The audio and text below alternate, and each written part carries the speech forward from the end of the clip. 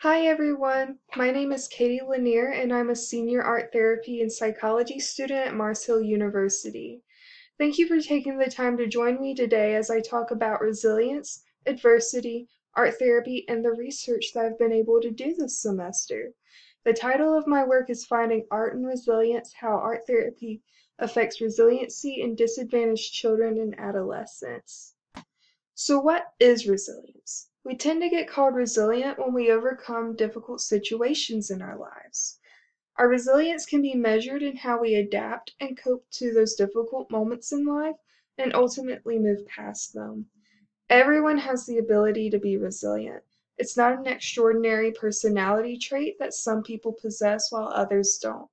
It's a normal part of human development that everyone is capable of. Likewise, in some cases, we're more resilient in certain situations, while in other situations we tend to not be as resilient. And that's an okay thing. Resiliency is ultimately a process that we go through throughout the entirety of our lives. Resiliency is also a very popular topic in psychology and has been defined various different ways. This can sometimes cause a difference in interpretation of data found in studies, and it can sometimes skew data based on how a researcher has defined it. However, in the literature that I reviewed, I found a lot of overlaps and consistencies in these definitions. I think if we work towards defining it more consistently and giving it an operational definition, future research on resiliency can be a little bit more efficient. So, what do we know about the, the definition of resilience? Well, resiliency is a part of human development. What we do with resiliency is we overcome and process adverse experiences, which are just those difficult moments in life that throw a wrench into our plans. How do we overcome those different experiences in our lives? We have different coping skills and resources. Those can be skills that are internal to our person and those can be things that are um, strictly for you, or it can be outside resources or support systems out in the world. So, when we know how to define resiliency, we start to look at how we can observe it in research. This brings us to the two main aspects of resiliency that researchers look at. Those are your protective factors and your risk factors.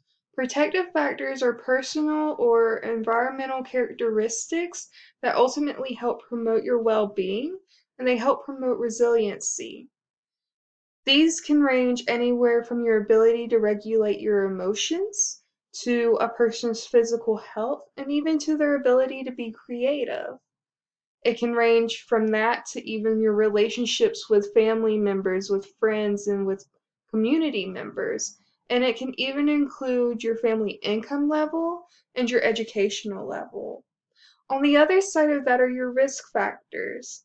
These are very similar to protective factors, however, they can negatively impact your well being and your ability to be resilient during difficult times. Like protective factors, it can also include your ability to regulate your emotions, it can include your relationships with family members, and community members, and it can even be things like your family income level or your educational level. What makes it a risk factor is when they're not as healthy. So if you're not able to recognize your emotions and then express them in an appropriate way, that's poor emotional regulation. It can be a risk factor because it causes stress and can limit your ability to be resilient when you're put under stress in those negative life situations. So, you've heard me talking about difficult life situations or difficult moments in our lives when talking about resiliency. The research often calls this adversity. Adversity can best be defined as the events that occur in our lives that can cause stress or even trauma to us when we experience them.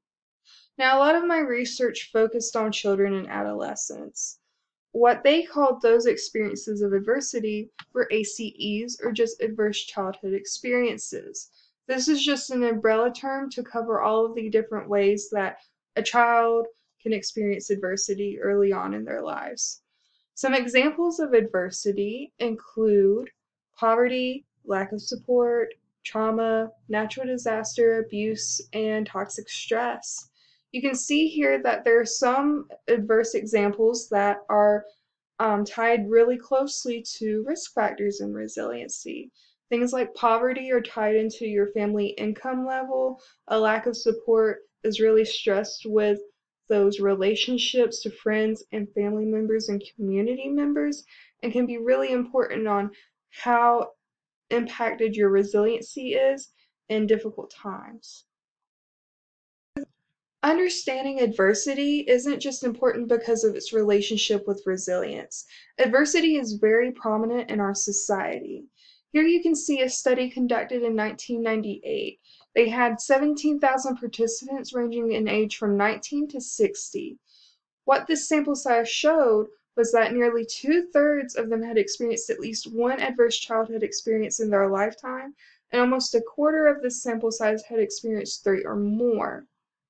Adverse experiences have negative impacts on our health, whether it's physical, emotional, or cognitive.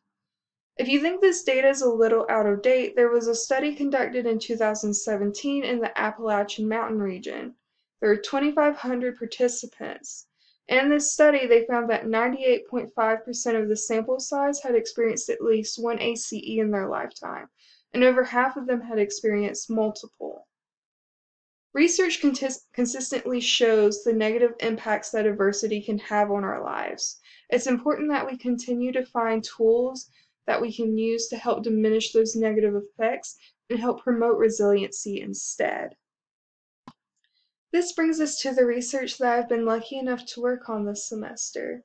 I've had the wonderful opportunity of being partnered with Beacon of Hope, a local organization in Madison County. Beacon of Hope has been open for tw- over 22 years, and their mission has been to provide food, emergency assistance, a low cost thrift store, and advocacy to those who are in need. While they have a food pantry that's the second largest food distributor in western North Carolina, they also have a thrift store and a community market that are very important. They receive donations and then sell them very cheaply um, to help provide clothing and hygiene products to those in need.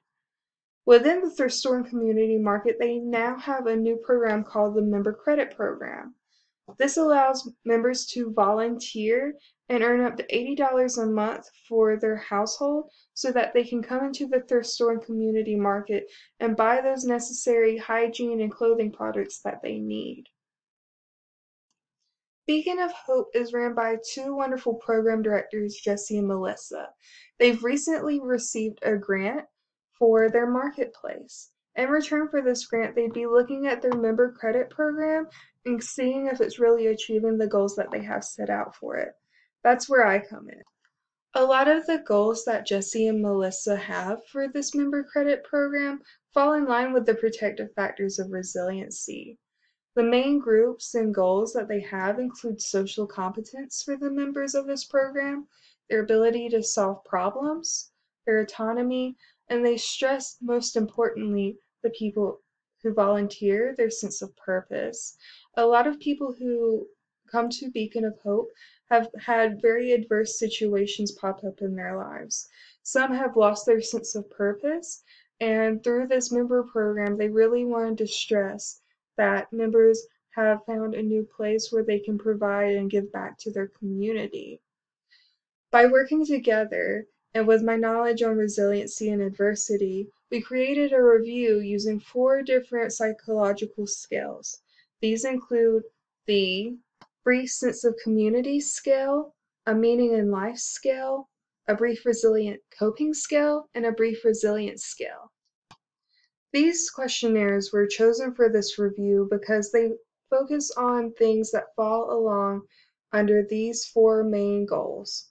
Things such as needs fulfillment, your sense of membership, your achievement, your relationships, they were all questions that were focused and can fall under things such as sense of purpose, your autonomy, your problem solving ability, and your social competence.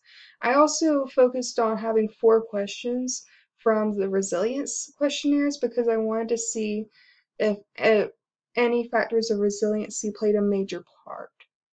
My plan was to take this survey to Beacon of Hope and conduct one on one interview sessions with members of this credit program. However, due to the closures with COVID 19, I was not able to actually conduct this research. However, I do have a fairly strong hypothesis that the more time that is spent in this program, there would be a greater sense of support, of a sense of purpose, and an impact of the program. This just means that a member who's been there for a year might have a greater sense of purpose, might have a greater sense of social competence than versus a member who's only been there for a month.